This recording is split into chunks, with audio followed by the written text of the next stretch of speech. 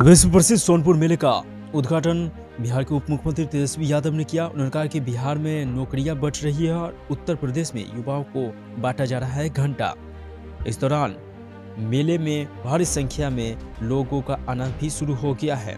उद्घाटन समारोह को संबोधित करते हुए तेजस्वी यादव ने कहा कि छपरा में मेडिकल कॉलेज का उद्घाटन कुछ ही दिनों में होने जा रहा है। बिहार में शिक्षा और स्वास्थ्य में ज़बरदस्त इजाफा हुआ है।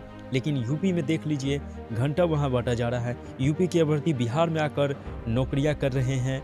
घंटा बजाने से कुछ नहीं होता है। पहले स्वास्थ्य विभाग में 300 दवाएँ मिलती थी। अब देख लीजिए, करीब 600 दवाएँ दी जा रही है। हम सभी को मिलकर बिहार को आगे ले जाना है। इस दौरान बिहार के मुख्यमंत्री नीतीश कुमार के सोनपुर नहीं पहुँचने पर लोगों में भारी मायूसी भी देखी गई।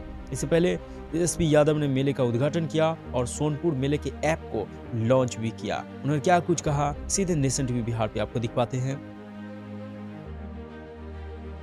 जो है, लेकिन इसके लिए क्राइटेरिया है, हर चीज़ है। एग्ज़ाम होता है, परीक्षा होता है, बहाली निकाली जाती है।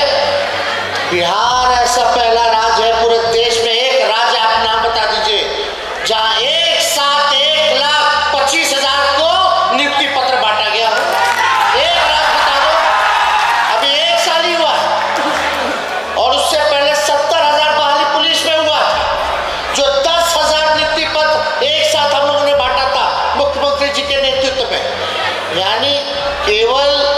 गृह विभाग और जो बहाली लगभग पौने दो लाख शिक्षकों की आई शिक्षा विभाग में।